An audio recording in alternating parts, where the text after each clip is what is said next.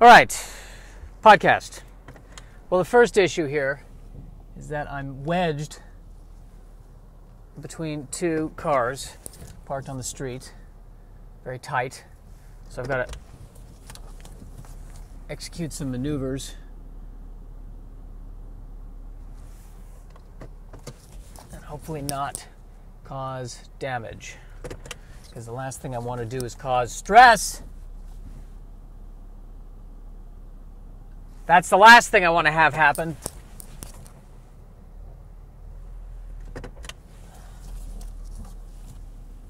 Wouldn't want stress.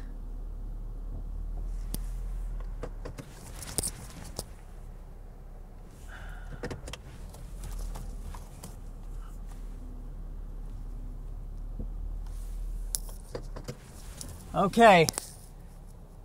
Ah, made it. God. People, leave some space. So, um,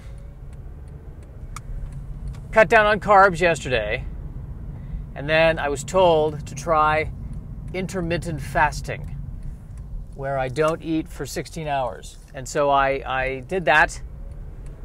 I ate yesterday at, uh, last thing I ate was around 3 or 4 and then I didn't eat dinner, and then I uh, am up this morning, and I do feel a, a bit better, less bloated. There you go. So that's fun. And I also I'm beginning to think that the purpose of this podcast, really the purpose of this podcast, is for me to learn how to be present. Like right now, for instance, I'm driving by a school and there's a guy with a stop sign and he's a crosswalk. Crossing guard, that's what it is. So, he was helping somebody cross the street. And I need to be present with that. that that is something that happens.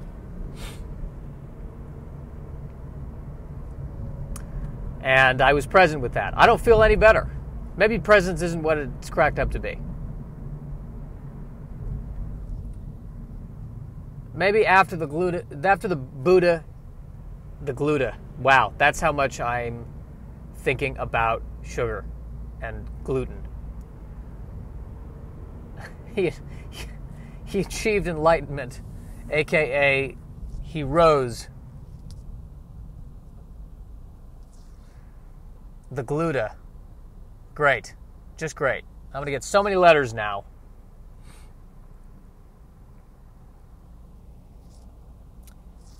Another Audi drove by. I'm a big fan of Audis. I don't know what it is. Yes, I do know what it is. I like the design. Uh, my grandparents used to drive an Audi, so there's a sentimental value there. And it just I, the the uh, you know the Audi um, the insignia, not the insignia, the symbol, the four circles, it just looks cool to me. I don't know why it, yes, I do know why. Why do I keep saying I don't know why? The circles look cool to me. It just, it looks, it looks like the symbol of an advanced alien race in Star Trek. That's what it looks like to me. Just highly advanced, and we, we have no idea. These are the four circles that represent truth, justice, joy, and gluten.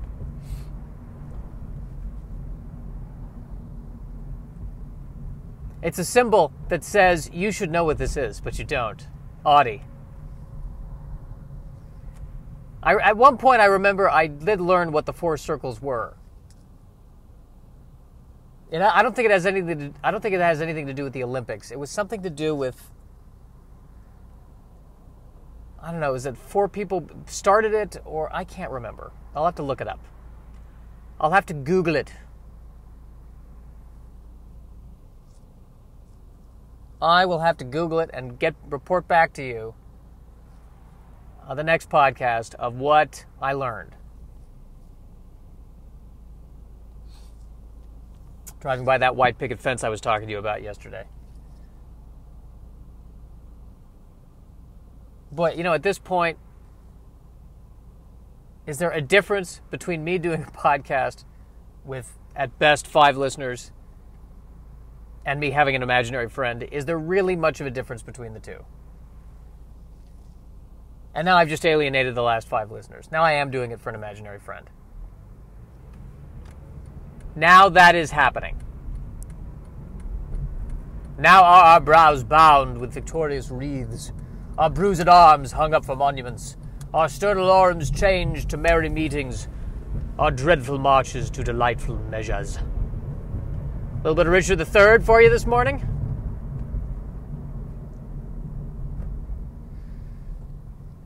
That was my thing back in the 20s. In my 20s, I was going to be, I wanted to be the next big Shakespearean actor. And man, has that the thought the thought of being in a Shakespeare play, of really doing it, of spending the five weeks rehearsing, um, really, boy, that used to be all I wanted. It's so funny. That used to be all I wanted, and now, eh, it feels like it's so much work. Yeah, I remember the last one I did. I had I wasn't memorized on the lines like I needed to be, and it was a struggle. And I just, ah, I still, and you know, I still have nightmares that I'm, that I had agreed to do a play and I'm late for, either I'm late for rehearsal or I had agreed to do a play. This is the nightmare. I, I had agreed to do a play and I was supposed to come to the first rehearsal fully memorized because we had a short rehearsal time or something, and I was not at all fully memorized. And I'm like, oh my god, I got to memorize all these lines.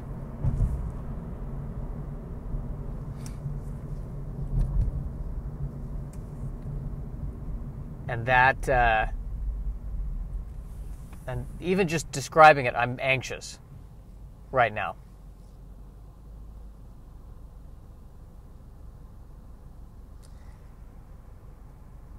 I don't know. It's I, I don't have the same kind of anxiety with the stand up. I guess because I'm the one writing it, and then if in the moment something happens, well, Josh the writer decided to make some, decided to take some poetic license. Oh, I just saw somebody dump some water or something out of their car. They're driving a Civic. It's a newer Civic. I can tell because it looks meaner. Again, I will say this again the Honda is not supposed to look mean, the Honda is supposed to look affable. Oh, and I think the car next to me is one of those Ford Aerostar vans. Do they start making those again? Oh, God, look at that van. That is a van.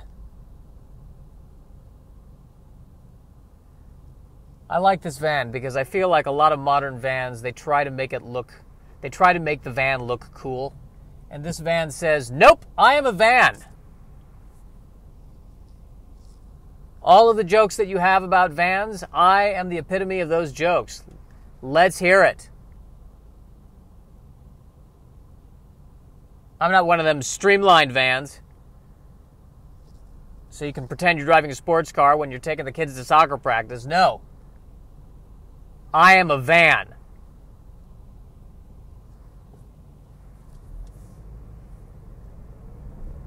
Oh no, it's not called the Aerostar. What is it? It's the. What is it? The True Quest? Please tell me that's the name of the car. Please tell me that is the name of the car. The True Quest? I can't be reading that right. I'm sure I'm not reading that right but it looks like a Ford Aerostar. It pretty much is a Ford Aerostar. Ah, it's driving away now. Damn it.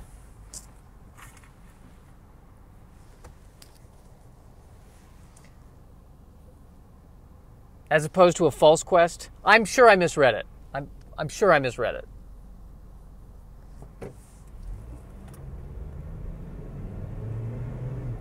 Even the name Aerostar is kind of a, a bit hysterical. If you'd never seen a Ford Aerostar before, or if you've never seen the van before and you heard, take them to the Aerostar, it sounds like a ship in Battlestar Galactica. Just a massive ship with weapons. Maybe even one of them, you know, one of them anime ships that transforms into a giant samurai warrior. Aerostar, transform! And then you see the van and you're like, oh boy,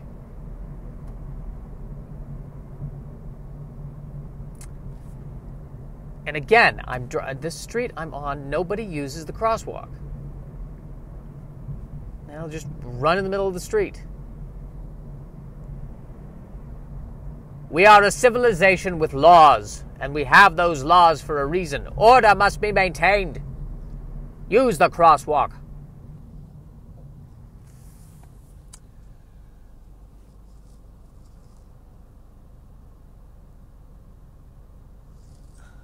Driving by the NoHo Senior Arts Colony.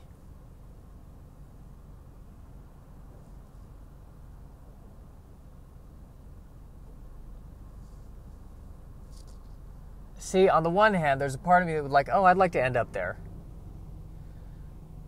But there's a second part of me that's like, oh, that's scary to end up there. Senior Arts Colony. I'm going to be recruited to do a play, and I won't be able to memorize anything.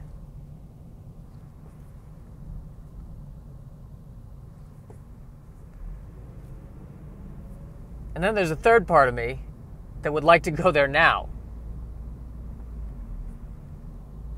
I think they could all relate to my lack of gluten.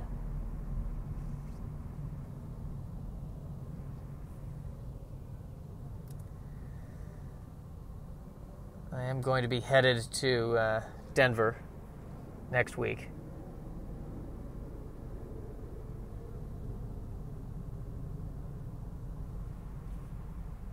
I have to fly, scared of flying, fear of flying. Oh, again. All right, so here's a Mazda SUV. It's called the Tribute. Boy, these names are just getting weirder and weirder. What's it a tribute to? The Ford Explorer? I, what? Tribute. In honor of, of Jim Anderson, a person we have known and loved for over 50 years, who was taken from us still too early. We have designed in his honor this sport utility vehicle.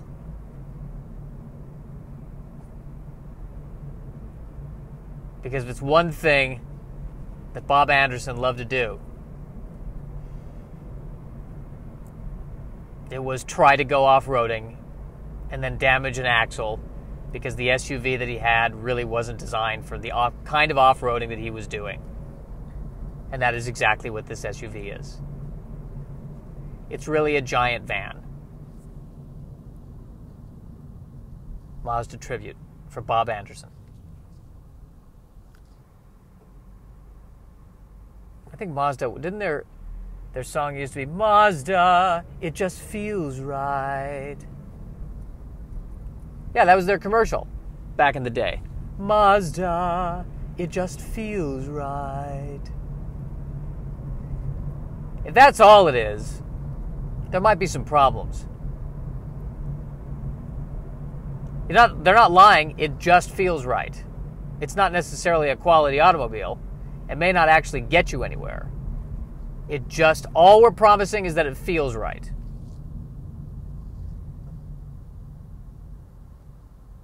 How's the gas mileage? No idea, but it feels right. Mazda.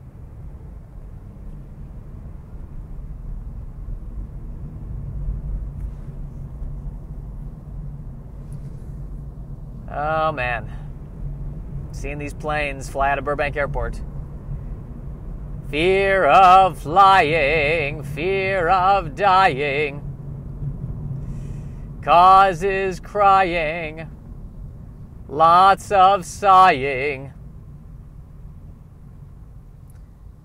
How am I rhyming without really trying?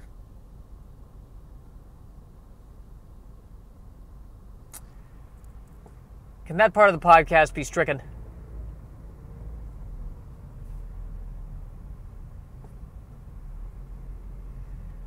Of course, uh, every single time I hit the same red light. I can't stand it.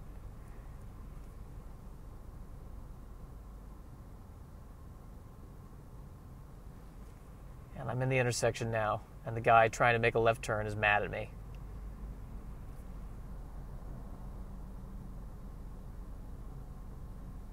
Should not have done that. Should have waited. Ah! I don't know what it is, but this light today is really bothering me. Turn already!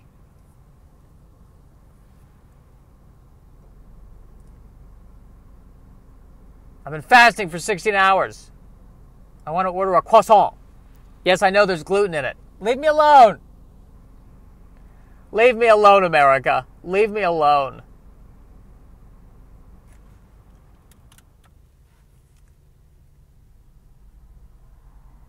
These lights. These lights were made for changing. Why? Why am I singing? Stop singing. We're not going to turn this into an improvised musical podcast. What is happening now? Now I'm stuck in the another middle. Why? Why are we not going? What's happening? Oh, because somebody's trying to parallel park on a busy intersection. Really? Now is not the time to parallel park. Uh, now I'm passing the street sweeper. The streets are always swept here in Burbank. Sweeping away the pilot scripts that were rejected. Here in sunny Burbank, California. Burbank, California where your pilot script was rejected.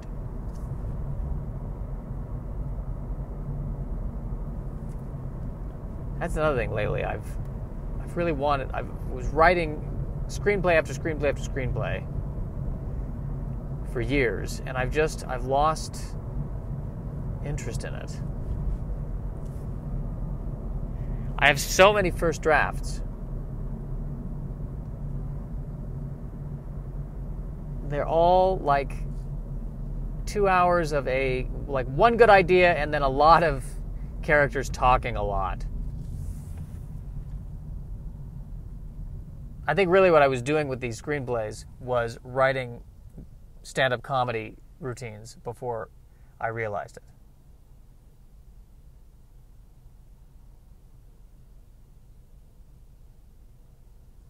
That's the reality. That, my friends, is the reality. And what's sad is that I can't find anything else I enjoy anymore other than stand up. I wish I could find something I enjoyed more. I mean, no offense against stand up, but God, man, it can be tough. Because if the audience doesn't laugh, it's not it's not there.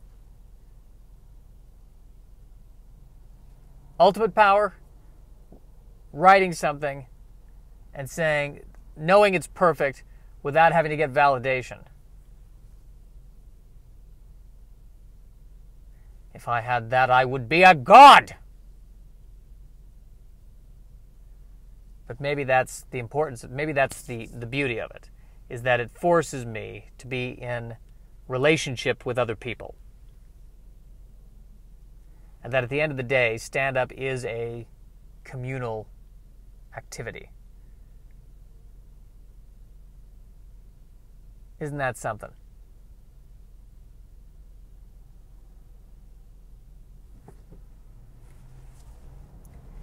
Isn't that something? I dare say it is, son. I dare say it is.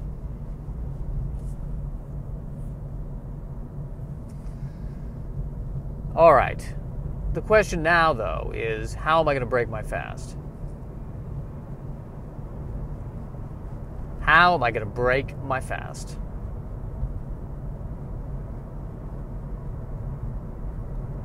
Excellent question. I, I have to say, though, I do feel better. My stomach doesn't feel as upset. I don't feel as bloated.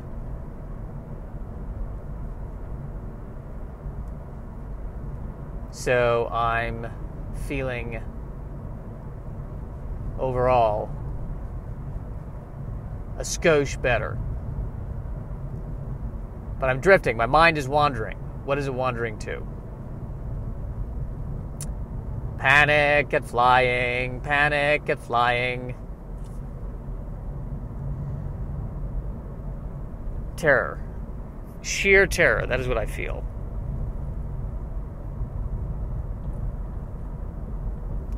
Sheer, unadulterated terror.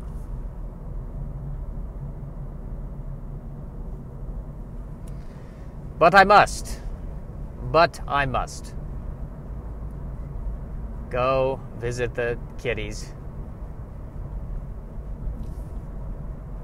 Not actual cats. My cousin, my second cousins. I think they're my second cousins.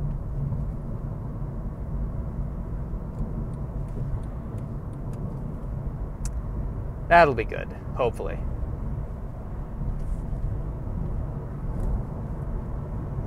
Go and look at them play with each other and go, all right, good, I'm part of the family. We will see. Well, we see. We will see. We will see what happens.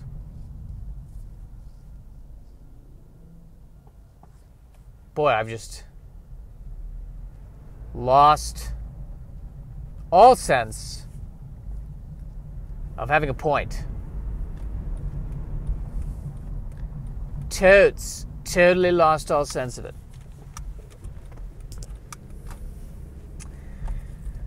But we're going to keep on keeping on. That's what we're going to do. That is what is going to happen. All right, well, the Josh cast. It just feels right.